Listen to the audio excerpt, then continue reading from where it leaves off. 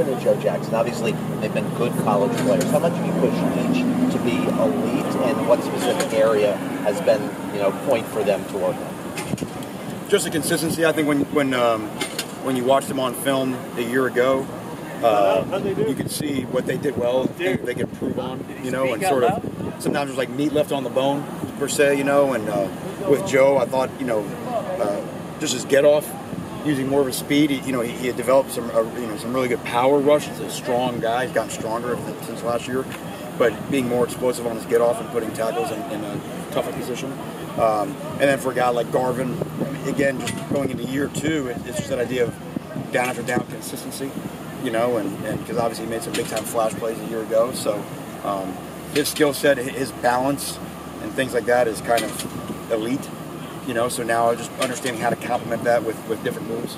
Not to short sell Gregory or Patchen, but how difficult is it a call to pick two starting ends among the two guys we're talking about and D-Jacks? Among those three, are they all similar in terms of what they bring you? It's so weird to say, but like a lot of times we don't even know. I mean, you don't even really notice who's in because you know when it's a luxury we have, and we've had it you know in the past. Some of the guys we lost, you know, they just we just have starter quality guys, and uh, and who runs out to the first play doesn't necessarily matter. And we don't think, oh gosh, this guy's in. It's there's a drop off, you know, and that's and that's you know that's what we'd love to have happen at University of Miami, where you can come in with, with ways of, of two deep, if not even more, and and, uh, and, the level of play doesn't decline. And uh, Manny, big picture, have you been able to add some maybe more exotic looks for the defense, just with a more of an understanding? You know, you guys have been here a while. It's more of a veteran group now compared to maybe what we saw in defense last year. Uh, I think you know there's still an idea of just getting better at what you do. You know, I mean, there's always a chance of, of, of trying to be creative, but being creative for creative's sake doesn't, you know, it, it, has to have a purpose. So I think as you do it always, I think you you you look back at what you did well and not so well a year ago schematically and, and where you can improve and, and, and then the players you have and how you can plug those guys in to, to play different roles. So, uh, you know, that from that point on, you kind of craft what it takes to, to be the team you have to be. Manny, you, it came in the spring. You've had 10 days of it now with the striker out there. Just have you seen what you've wanted to from that position and from those guys that, that are taking that challenge on? We have. I mean, it, it again, it, it's about using our personnel. Okay, so you, with, with big athletes like Derrick Smith and Romeo Finley, okay, how can we get those guys on the field when, when you're already blessed with two safeties like uh, uh, Redwine and Johnson, with, with backup like like Carter and Hall that really come along, Robert Knowles. So you just you got a lot of talent at one position.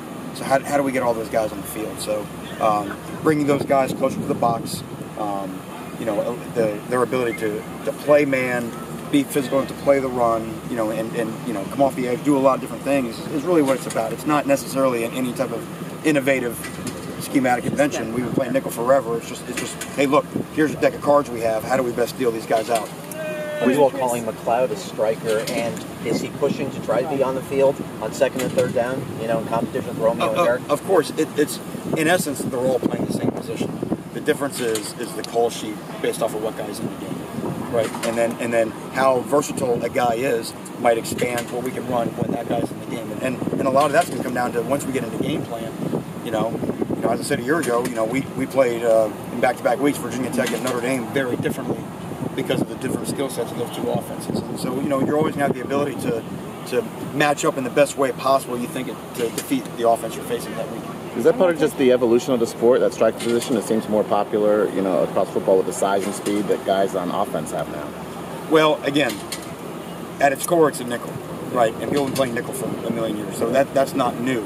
I think what is new is that having that guy, his job is probably more advanced in terms of being able to play man, run through and play run in the box, you know, play matchup zone, just do all the different things that we do. I think I think having that guy be an every down guy that has the ability to cover like a DB and hit like a linebacker is probably um, because of what the offense is doing in terms of run pass conflict stuff. I think that's probably what you're seeing more of now. So guys coming up, guys will be safe that fit that, or else, or, could be or outside. That's correct. Could be big safeties, guys that were big safeties in, in high school. Maybe smaller linebackers. You know, just guys, certain guys that have a knack. You know, obviously we got a great strength program for these guys that they don't look like they change into, as human beings after they've been here for, for six months. So, you know, we love we get them in, we develop them, and find out the best way to deploy them on the field.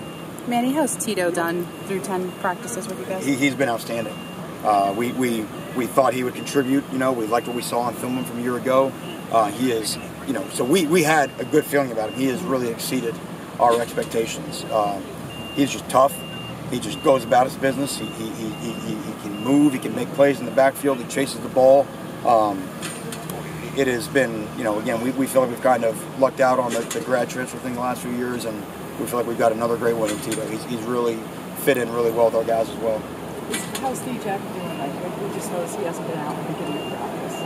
Um, is he fine physically? and stuff? Yeah. He's missed a couple of days. Yeah, no, he's fine. He's fine. You know, just being an older guy, you know, so giving some younger guys some reps, you know. But yeah, I mean, we, we we know what to expect with him. You know, high motor guy, toughness, uh, leadership, all the things that D-Jack brings. You know, so you know his status is on the team is, is pretty cemented. A couple more questions. furthest along among freshmen. I know you expect most or all of them to help you at some point this year. Is it Rousseau because he's been here and did good things in spring? Is it someone else who comes to mind? Yeah, it's almost you almost can't call them freshmen. The, the mid-year guys, you know, it's they're almost in a different class, and certainly Rousseau, you know, would jump out of those mid-year guys of, of the ones that just showed up. Um, it's hard, you know, because they, they, they flash on different days at times. Um, I, I would say Al Blades um, from a consistent consistency level. Um, he shows up. He knows in front. We've been very impressed with the things we've seen from Nigel Bethel, um, Pat Joyner, same. So, but I, but I'd say Al of the ones that just kind of got dropped off to school. I'd say Al has probably been uh, the, the a nose ahead of the other ones. All right. Thank you all very Thanks, much. Manny.